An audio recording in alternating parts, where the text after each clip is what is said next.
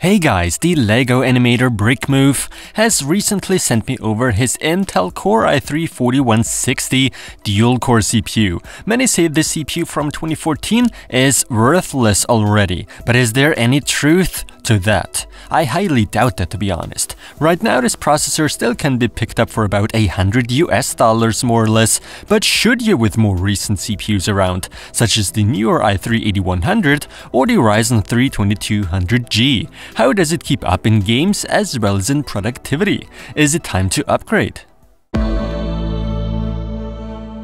Now spec-wise, things admittedly don't even look too bad. Compared to the newer Coffee Lake i3-8100, this older 4160 Haswell chip is equipped with only half the amount of cores, it's a dual core, but it does feature hyper-threading, thus 4 threads. The clock speed is identical, but a very significant difference is the amount of cache. The newer 8100 comes with exactly twice as much, for sure giving it a massive boost in performance there. Now initially I planned using this motherboard the processor originally came with out of a Medion pre-built PC, however since that board has some strange power connections going on and my adapter hasn't arrived yet, I'm gonna use a trusty Overkill Z97 board by MSI. So is the i3-4160 any good in 2018?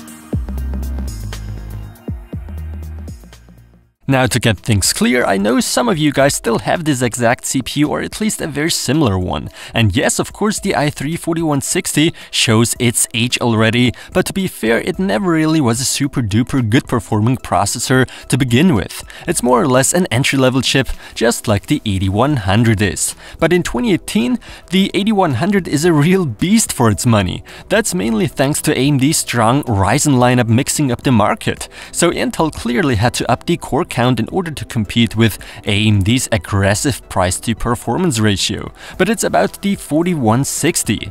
All in all, if you're doing normal stuff like surfing the web, playing not too demanding games, the 4160 is still a powerful processor despite its only two cores.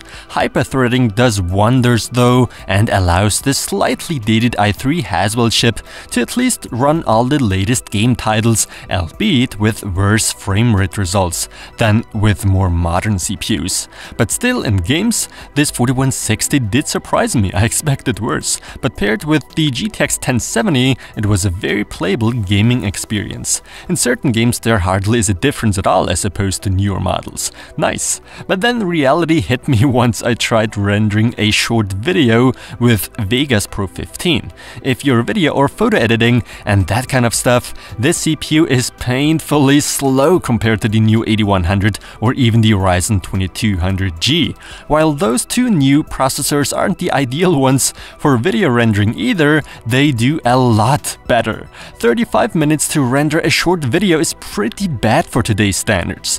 And anyone trying to do that is a true soldier. In fact, someone said that about Patrick, the guy behind the LEGO animation channel Brickmove. I can only agree to that. Luckily, he now has a powerful Ryzen 5, which is a fantastic choice for productivity such as photo, video editing, and so on. So is it a CPU I'd recommend buying now? Hell no! For what it is, it's very pricey and definitely not worth it. You can get brand new platforms such as the i3-8100 or the Ryzen 3 2200G for about the same amount of money, but get quite a lot more performance out of those. But do you really, really have to upgrade to a better CPU or platform if you own such an i3 from the Haswell generation? No, I don't think so. Unless you of course run into issues with certain programs and games and they run poorly, then yes. But hey, maybe you're looking for a great cheap used CPU and you find one of those i3s for a decent price? Go for it. The i3 4160 still has got some more power left in it, I'm not sure for how long though. So yeah, big thanks to Patrick from the channel Brickmove for sending me his CPU along with other components. And with that said, thanks for watching.